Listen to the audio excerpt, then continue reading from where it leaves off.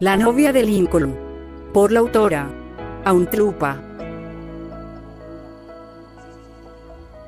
Capítulo 10. Lo siento, aunque seguía muy triste con el tema de Carol, al menos podía mostrarse en público, pudiendo actuar de manera normal y esconder todo el dolor que sentía dentro de sí mismo, todo como una verdadera persona normal, aquellas que siempre están felices pero por dentro sufren y sufren a más no poder. Así era la vida de Lincoln Loud, en lo que pasaban los días y días en lo que respecta a su relación con Carol, cosa que realmente podía entender ahora que sus hermanas estaban felices de tenerlo a su lado aunque también se sentían mal por alegrarse enormemente de que ambos no estén juntos. El Lincoln, ¿qué quiere Lana?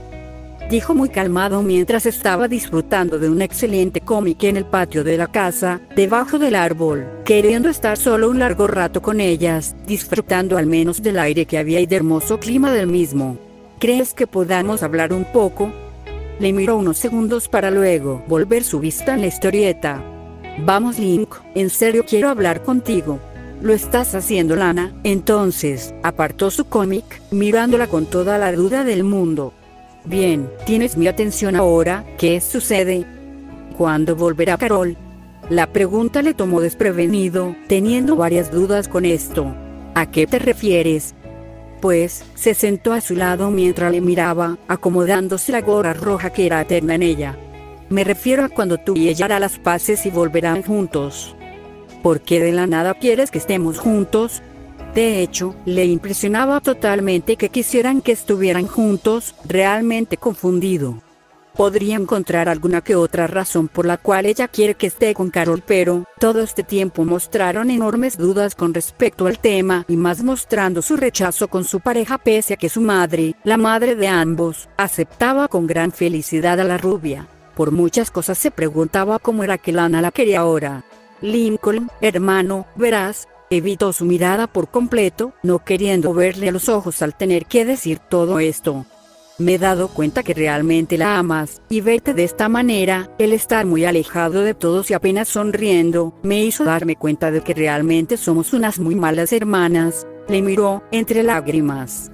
En serio lo siento hermanito, no era mucho pero, tampoco era que Lana era la reina de las palabras, abrazando a Lincoln, tirándose encima de él en lo que lloraba todavía, todo porque realmente se sentía pésima hermana menor. No quería para nada que Carol se robara a su hermano y lo quería para ella, tanto que hasta golpearía a la rubia con tal de que no le quiten a la persona que más ayuda le ha dado pero al ver a su hermano mayor de tal manera, verle llorar de vez en cuando y verle muy apagado, habiendo notado esa falta de brillo en sus ojos, sabía que no podía ser tan egoísta como lo estaba haciendo ahora, teniendo que ser una muy buena hermana para él y dejar que sea feliz aunque realmente le disguste la idea de que tenga una novia y le quite tiempo con ella. Quería lo mejor para Lincoln y por eso, realmente quería que las cosas entre ellos dos mejores pronto para no verlo con esa cara de perro mojado.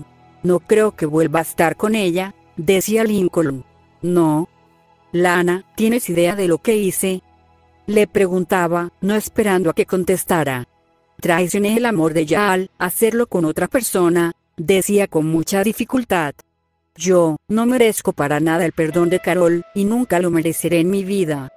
No, puedes intentar hablar con ella, Preguntaba ella, dejando de llorar un poco, limpiándose las lágrimas con su antebrazo, viendo el estado de su hermano que parecía empeorar con cada segundo que pasaba. Lincoln, oye.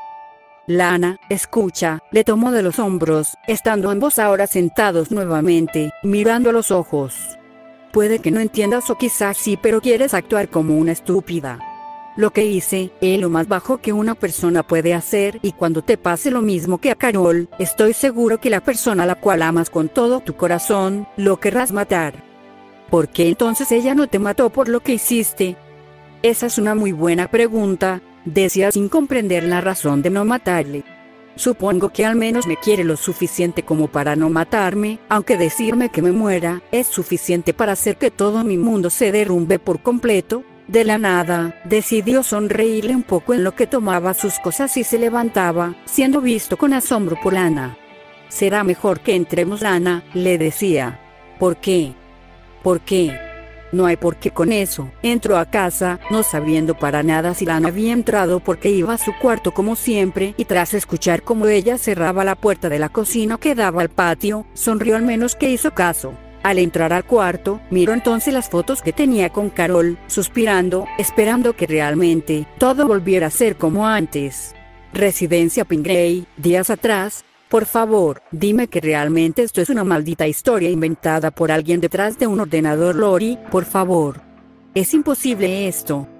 Pues, será mejor que empieces a creer, porque es cierto cuando me refiero a que ella fue con la que Lincoln te engañó. Era muy complicado para Carol tener que procesar que su novio, Lincoln, tuvo el descaro de engañarle, más entonces con su hermana menor, estando que realmente no podía aguantar tal información, preguntándose internamente el cómo es que él hizo tal cosa y de cómo seguro se lo hizo, no sabiendo si sentir celos de que se lo hiciera mejor o algo parecido sentir ira, apartar a Lori del lado de Lucky y matarla. Ya se desmayó una vez por el impacto, cuando despertó a los minutos y le contó de nuevo Lori la verdad, casi se desmaya pero pudo aguantar la presión de dicha noticia, mirando a Lucky muy fijamente a pesar de que Lori le hablaba y hablaba. Lucky podía sentir tal mirada encima de ella y apartaba la mirada, suficiente con que daba la cara en esta situación actual, prefiriendo estar con Lincoln y asumir las consecuencias de lo que podría estar haciendo ahora. Lucky, ¿es cierto entonces lo que Lori me dijo? Le preguntó Carol, solo para poder confirmar entonces lo que le contó. Lo es, le dijo sin más. Intenté hacer que Lincoln fuera mío y no tuyo para nada. Le sorprendió hasta Lori el hecho de que Lucky dijera esto, mirándose las dos rubias entre sí a lo que Lucky seguía tan callada como siempre. ¿Realmente amas a tu hermano de esa manera para haber hecho lo que hiciste, Lucky? Carol para este punto se levantó de su asiento, acercándose a Lucky, parándose frente a ella, dejando claro la diferencia de altura, edad, de cuerpo, de todo. Le temblaba un poco la mano a lo que decía que debía golpearle la cara. ¿Realmente amas a tu hermano de tal manera para hacer eso? Lo hago, dijo. Amo a Lincoln y lo amo más que podrías hacer tú. Sí, tiene razón. Tú lo amas más que yo, por supuesto, estiró su brazo en dirección a la puerta de su casa, la misma de la entrada.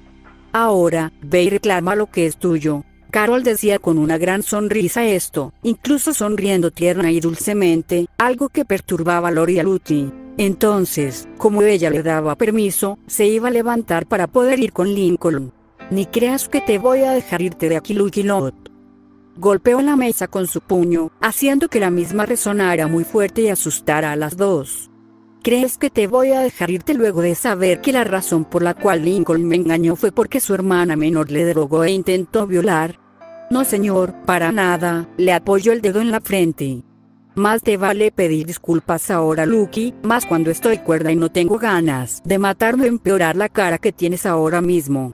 Lucky miró por unos instantes a Lori, viendo que asentía, dándole la misma cara que Carol le estaba dando, no pudiendo siquiera mentir un poco, estando en jaque por completo, no sabiendo tampoco que cara le asustaba más, la de Carol o la de su hermana mayor y en todo caso, las dos eran ya muy atemorizantes, haciendo que al tragar su saliva, sonara incluso actualidad, por la noche. Por las noches, no había nada mejor que un buen vaso de leche fresca, una que al tomar del vaso, se te escurría por los labios y se caía un poco, teniendo que relamer tus labios, todo antes de poder ir a dormir.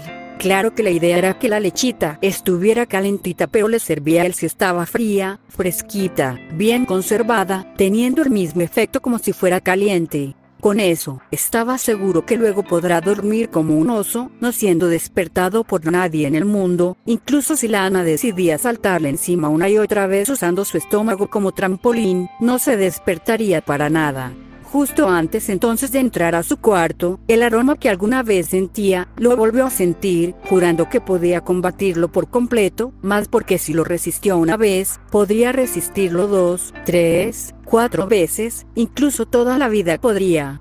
Pero entre más entraba ese olor dentro de sus fosas nasales, era cautivado, no comprendiendo para nada cómo era que no podía oponer resistencia alguna, temblando, siendo manejado por dicho olor, siendo controlado su cuerpo, hechizado por ello, caminando dentro de su cuarto, viendo a Lucky tirada encima de su cama, vistiendo casi nada de ropas, teniendo que ver aquel cuerpo blanco y el cual iba madurando poco a poco, uno que sin duda alguna, para sus 13 años, estaba bien formado.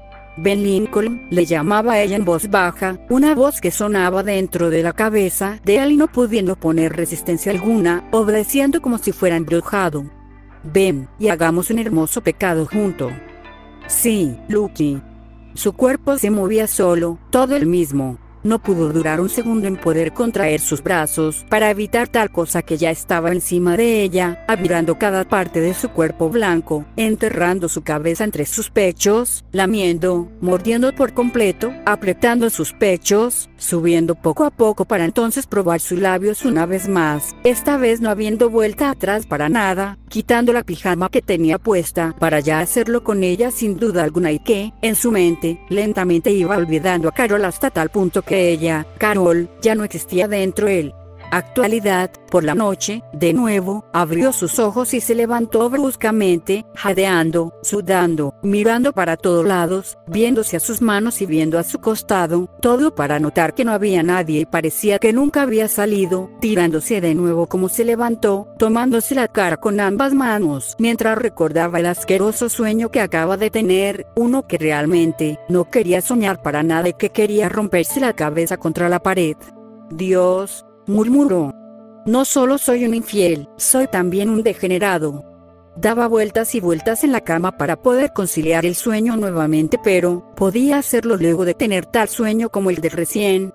No, no podía para nada. Tener tales sueños, era normal de hecho. Soñar que tomas una y otra vez a la mujer que tanto amas era normal, muy normal de hecho, no encontrando razón alguna para preocuparse por tales cosas.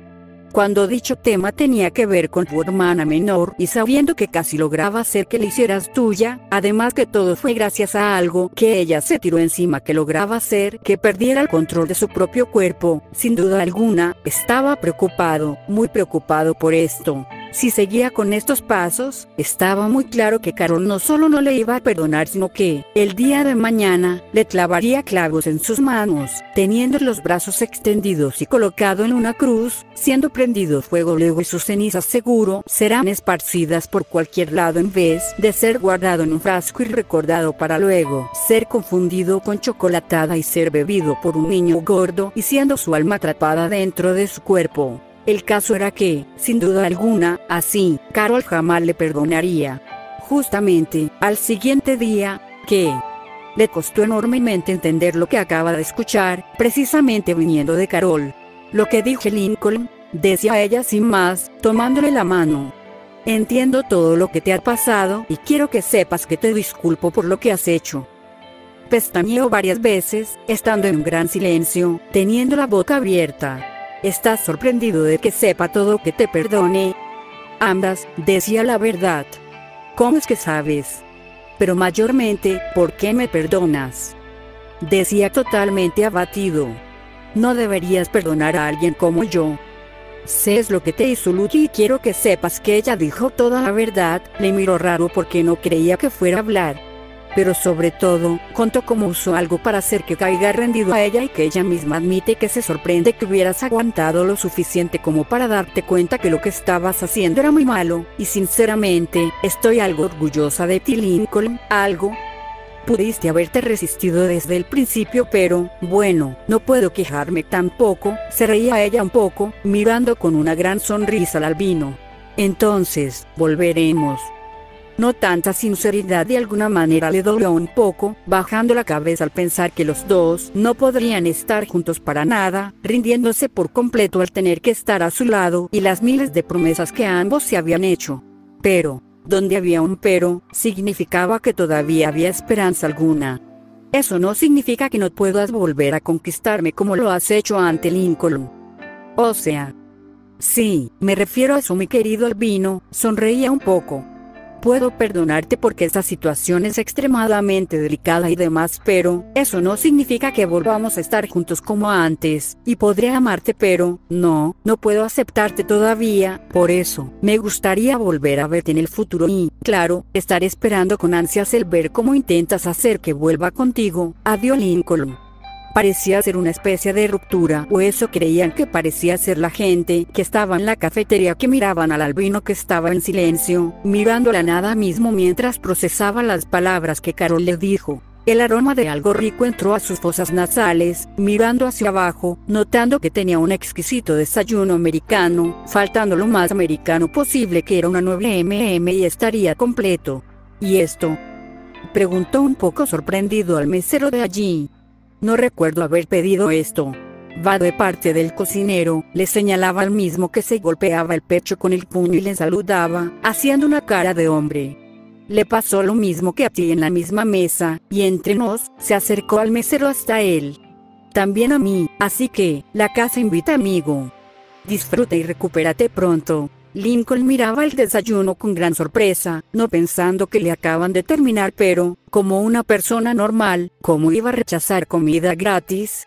Él la vergüenza de un hombre no comer lo que se pone enfrente. Al rato, cuando llegó a casa, tenía en mente claramente lo que debía hacer y demás con el tema de Carol, muy decidido a recuperar su amor y debía demostrar que tanto le amaba y que tanto daría por ella. Oye Lincoln, el diablo le habló por completo, mirando detrás suya, viendo claramente a Lucky que tenía una mirada muy fea, no de mala sino de tristeza y demás, aparte de que todavía notaba alguna que otra marca en su cara. ¿Qué sucede Lucky? ¿Crees que podamos hablar? No, no podemos, le dijo sin más. Ya te he dicho que no quiero que me hables, aun con esos sueños que tenía y que sabía que eran más pesadillas que sueños, podía actuar bien frente a ella, agradeciendo a Luan por esto. Ya te he dado mucho de mí como para que ahora quieras pedirme disculpas. Pero, Lincoln, intentó acercarse hasta él y tomarle la mano pero, este se la apartó, dejando muy sorprendida a Lucy. Ya dije la verdad de todo y estoy muy arrepentida. En serio Lincoln, lo siento, ¿me perdonas? Le miró por unos instantes, mirándole fijamente, entrecerrando sus ojos, notando que la cara que hacía era genuina y decía la verdad. Pero había algo que no podía escaparse de él y que era sin duda alguna, lo mejor que podía hacer, sintiendo ahora más que nada desprecio por ella. No le puedes mentir a un mentiroso Lucky, le dijo fríamente, retrocediendo varios pasos. No sé qué diablos hice para que quieras arruinar mi relación con ella, podría entender si buscaras hacer cosas algo sanas como tus demás hermanas, pero, esto... Soltó una pequeña carcajada. Esto no es algo a lo que pueda perdonarte para nada, ahora, si me disculpas, debo olvidarme de que tengo una hermana menor como tú. Al darse la vuelta e irse de la presencia de Lucky, cerró sus ojos y pensando que en su mente llegaría todas las cosas de Lucky que le hizo y soñó, no vino nada, sintiéndose realmente relajado de decir tales palabras, escupiendo la verdad, yendo a su cuarto para preparar las cosas con Carol. Por parte de la pequeña gótica, en silencio, se le escurrían lágrimas al escuchar tales palabras de la persona que más ama y que más admiraba, teniendo en este momento, el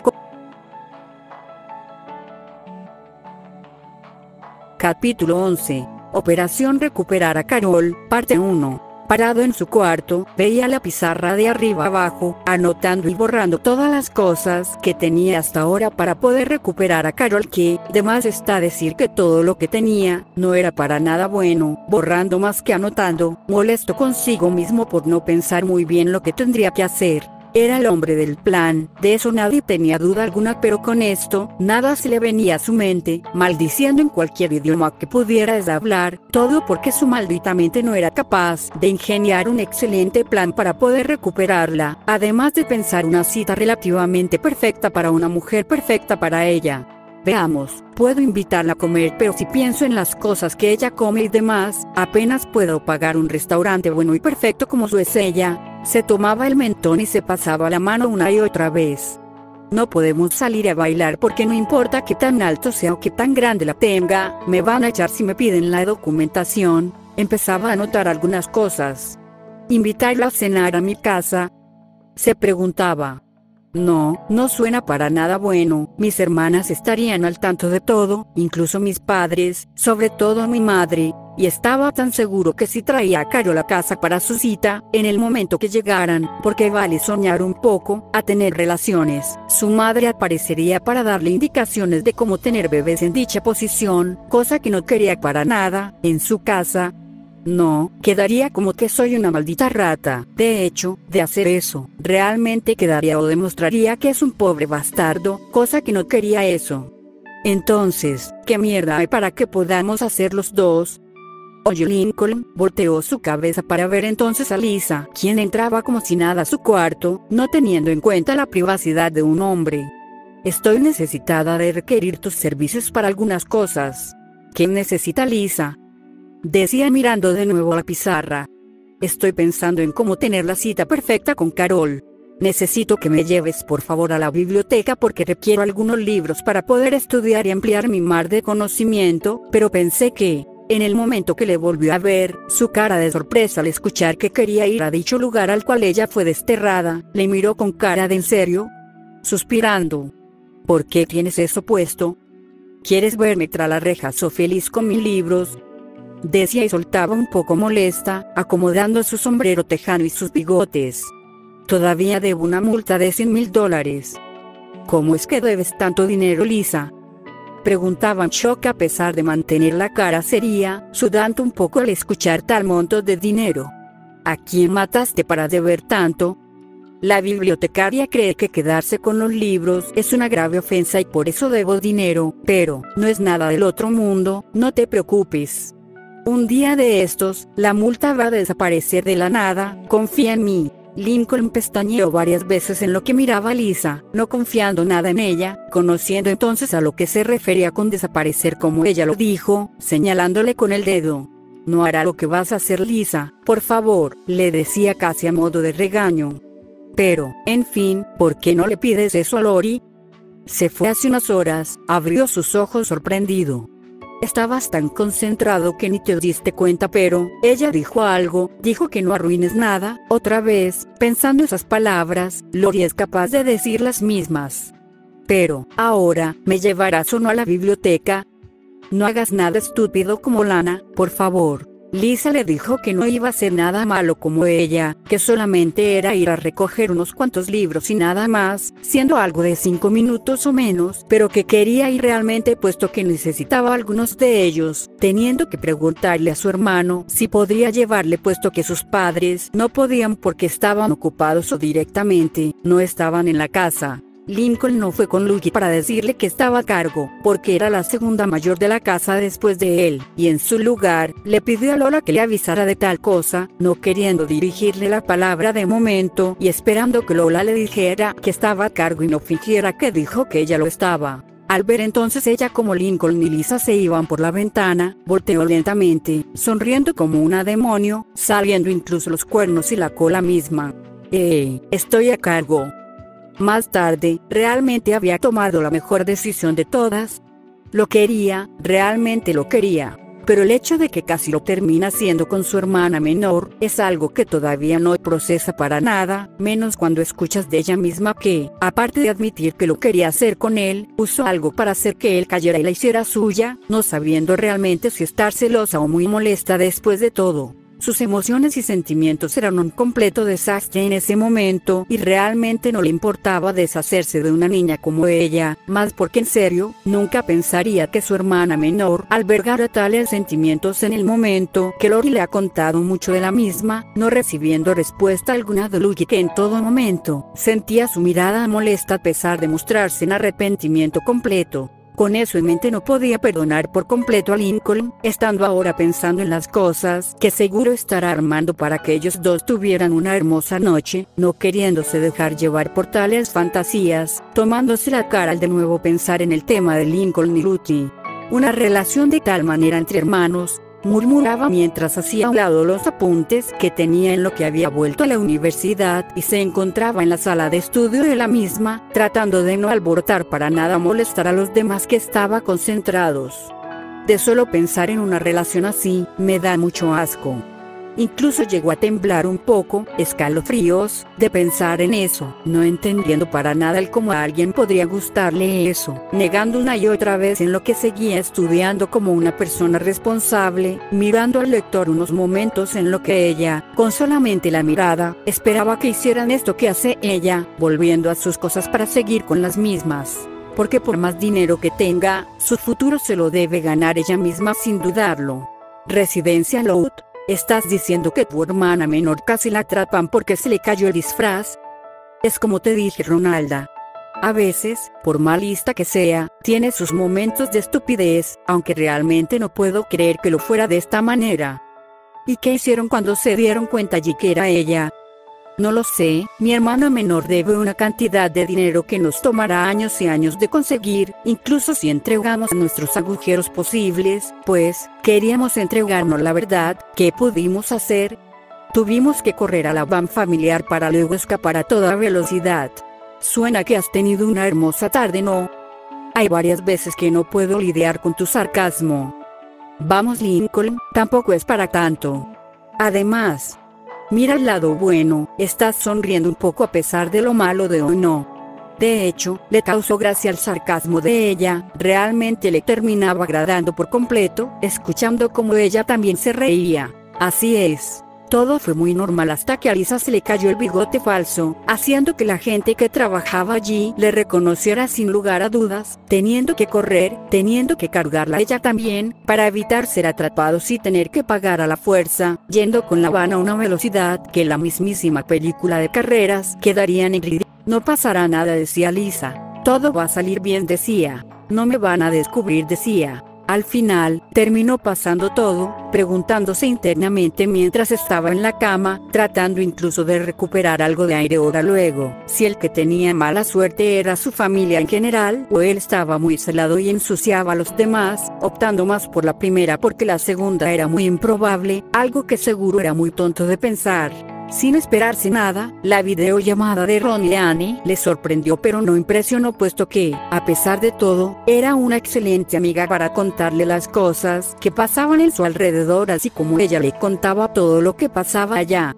¿Cómo van las cosas entonces allá contigo y buena morada? Ya te dije varias veces que ya no somos novios, le respondí a través de la llamada, viendo cómo se volvía a reír, no entendiendo eso. ¿Qué? No me refiero a Carol. Me refiero a tu hermanita Lincoln, decía entre risas, mirándole pícaramente. Ahora que no estás con Carol, seguro habrás aprovechado hacerlo con ella una y otra vez hasta que vuelva no. Voy a cortar la llamada y griega. Espera no. Era una broma maldita sea. Se quejaba a gritos, sacándose los auriculares unos momentos para ver si se había quedado sordo. No aguantas una broma. Voy a ir ahora y voy a hacerlo con Sid frente tuya sin reparo alguno y.